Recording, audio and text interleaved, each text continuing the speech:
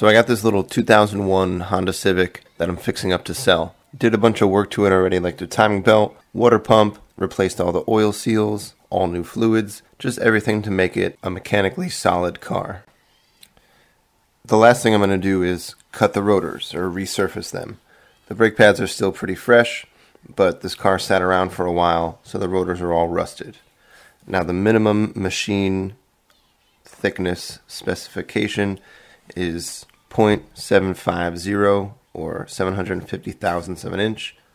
And if we measure this rotor right now, it comes out to 0.780, right, or 780 thousandths of an inch.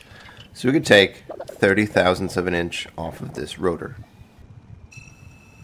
We don't want to take off too much, so I'm going to start with about 7 thousandths of an inch on either side.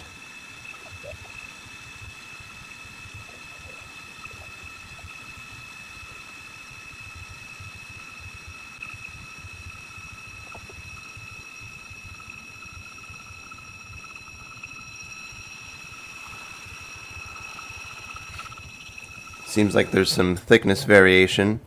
Still got some rust on there, so we'll measure it again and see what we can work with. So 0.765. So we have about 15 thousandths of an inch left to go before we've gone too far. So we'll take a little bit more off.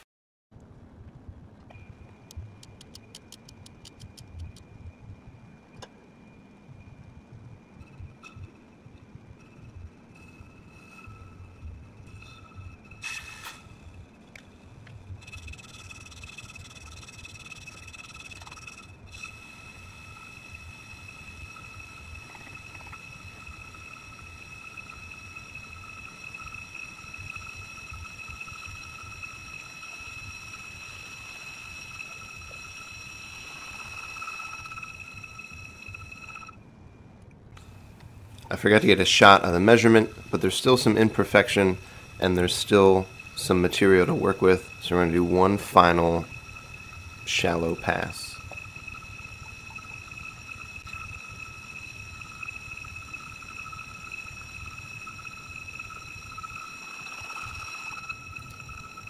So now it's all clean, a nice flat friction surface. We have 753 thousandths of an inch thick I think the minimum machine tool thickness was actually 748 thousandths. So we're about 5 thou over according to that measuring tool. This one's going to say 756 thousandths. So we are within specifications. We're going to put the brakes all back together and send this one on down the road.